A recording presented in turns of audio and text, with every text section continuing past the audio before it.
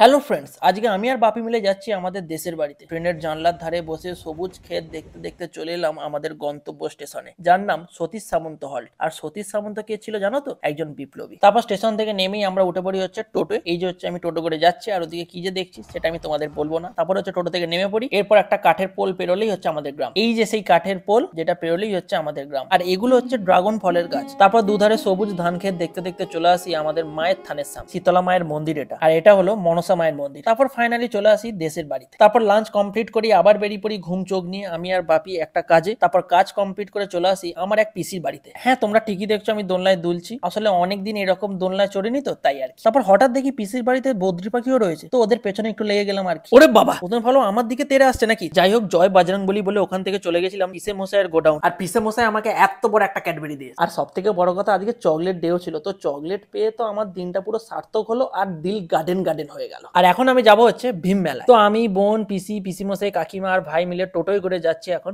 ব্যবর্তায়, যেখানে ভীম মেলা হচ্ছে। জোরদার ঠান্ডা লাগছিল, তাই কান, নাক, মুখ ঢেকে কিছুক্ষণের জন্য ডাকাত হয়ে গেল আর হ্যাঁ দেশের বাড়ি থেকে ব্যবর্তা টোটোতে প্রায় চল্লিশ মিনিট লাগে। ওই যে দূরে ডিস্কো লাইট দেখা যাচ্ছে মানে মেলা ওখানেই হচ্ছে। তো ফাইনালি টোটো থেকে নেমে চললাম ভীম মেলা দেখ আর হ্যাঁ এই প্রথমবার আমি এই ভীম মেলা এলাম। আর মেলার এন্ট্রি গেটটা তো বেশ ব্যাপক সাজিয়েছে। আর তারপরেই চলে আসি ভীম ঠাকুরের মন্দিরে। আর মন্দিরে ঢুকেই তো আমার রিয়াকশন ছিল আমি তো কয়েক জন্য পুরো হাঁ হয়ে গেছিলাম। কারণটা তোমরাও দেখো।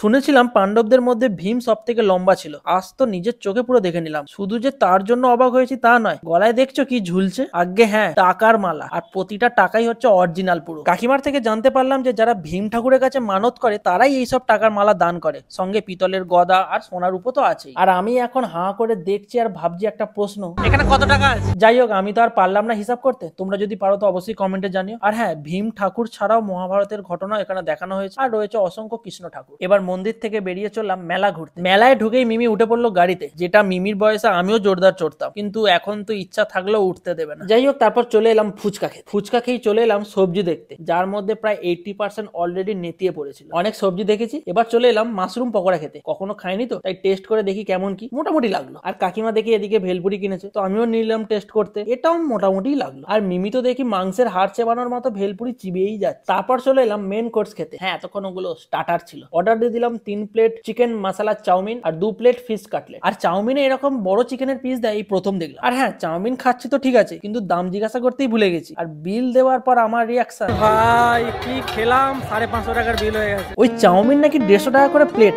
ভাবা যায়? যাই হোক তারপর দেখি এখানে নাচ হচ্ছে। আর নাচ দেখে তো আই এম পুরো অবাক। আর মেলা থেকে পূজা নিল দুটো নেকলেস আর পিসি নিল একটা জ্যাকেট তারপর মেলা থেকে জিলিপি কিনে ভুট্টা খেয়ে ফাইনালে বেরিয়ে পড়লাম ভীম মেলা থেকে। আর এখন আমি আর সায়ন দুজন বাহুবলী হয়ে টোটো ঠেলে তুলছি।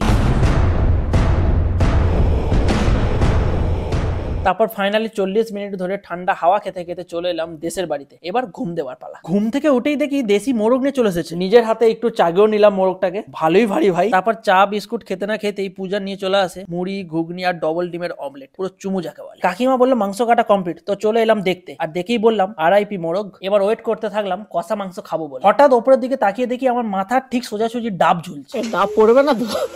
পূজাকে বললাম আরও এক কাপ চা করে দিতে, কারণ মাংস কষতে এখন অনেক টাইম লাগবে। তাই চা খাচ্ছি আর মাংস কষা দেখছি। কাকিমা বলল, মাংস কষা কমপ্লিট তাই ছুটে চলে এলাম একেবারে কষা মাংস খেতে। নিয়ে নিলাম এক বাটি কষা মাংস, এবার জমিয়ে আরামসে খাচ্ছি। যাই বলো না কেন, মাটির উনুনের জালে বানানো মাংসের টেস্ট আলাদাই। তারপর ফাইনালি স্নান করে বসে বললাম লাঞ্চ করতে। আর লাঞ্চের মেনু তো জানোই, দেশি মোরগের ঝোল আর গরম ভাত। উফ লাঞ্চের মেনু তো না পুরো চুমু। তারপর একটু রেস্ট নিয়ে চলে এলাম স্টেশনে এবার বাড়ি ফেরার পালা। ফাইনালি ট্রেনে উঠে জানলার ধারে বসে সাইট সিন দেখতে দেখতে চলে এলাম উলুবেড়িয়া স্টেশন দেন টোটোয় করে বাড়ি এবার রেস্ট নেওয়ার পালা। সো সবাইকে টাটা।